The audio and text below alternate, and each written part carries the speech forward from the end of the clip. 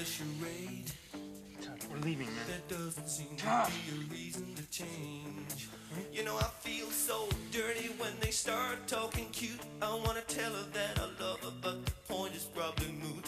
Cause she's watching him with those eyes. And she's loving him with that body, I just know